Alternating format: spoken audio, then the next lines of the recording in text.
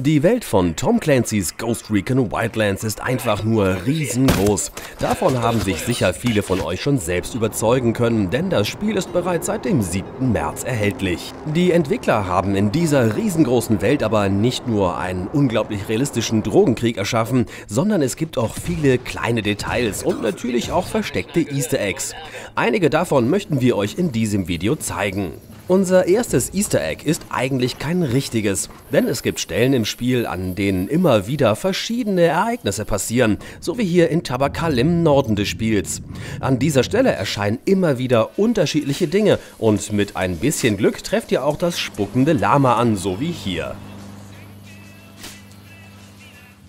Ein noch viel krasseres Easter Egg ist in der Region Kaimanes zu finden.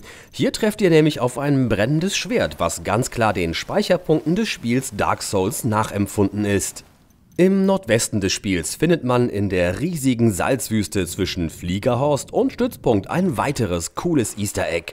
Hier steht mitten im Nirgendwo ein alter Ledersessel, der rein zufällig genauso aussieht wie der Ledersessel aus dem Film Matrix. Auch die Umgebung passt prima dazu, denn im Film war die komplette Szenerie ebenfalls gänzlich weiß. Es gibt aber noch wesentlich mehr Easter Eggs und sogar eine ganze Serie.